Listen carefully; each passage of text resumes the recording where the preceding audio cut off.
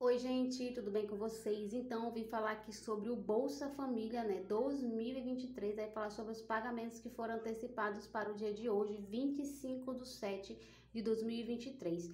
Também vou falar da regrinha aí que foi lançada, que vai beneficiar muitos aí bolsista do Bolsa Família e que dia de mão antecipo você aí não vai deixar de receber o seu benefício. Então você quer saber qual é essa regra e essa nova lei que foi lançada para você não perder o seu Bolsa Família. Não sai daí, assiste o vídeo até o final, deixa like, se inscreve no canal para que outras pessoas possam tomar conhecimento desse vídeo. Então, vem comigo!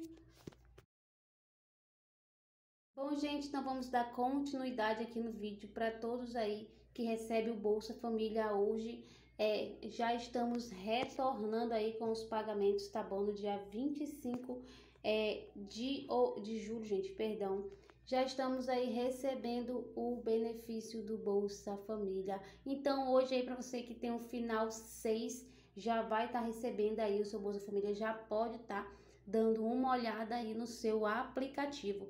Também gente tem uma informação aqui para falar em relação aos valores, gente. O valor médio é de 684 reais. Tá certo, gente? Também vai ter beneficiários aí que podem estar tá recebendo o valor de 705.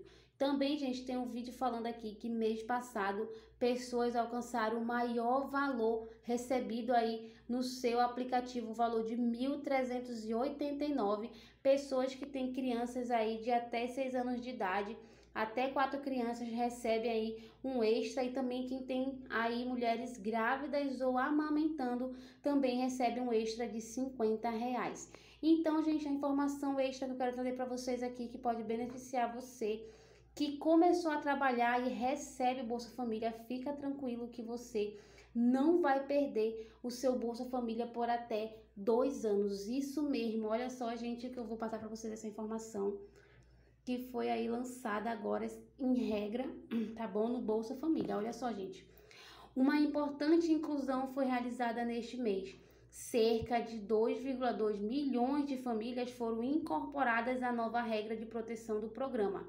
Essa medida permite que os beneficiários que conseguirem emprego continuem recebendo o auxílio por até dois anos, res, dois anos, recebendo um valor médio de 378,91 reais. Contudo, durante o período de transição, a família receberá apenas metade do benefício ao qual tem direito, facilitando a adaptação à nova realidade com fonte de renda própria.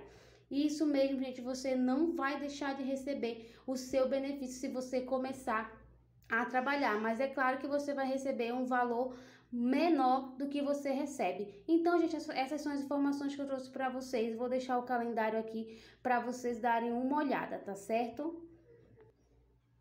Então, gente, fica aqui com o calendário do final do mês de julho e já deixa aí o seu like, seus comentários se você vai receber ou não, que talvez eu possa lhe ajudar. Também vou deixar outros vídeos aqui na descrição desse vídeo para tentar ajudar você. Então é isso aí, gente. Beijos e até o próximo vídeo.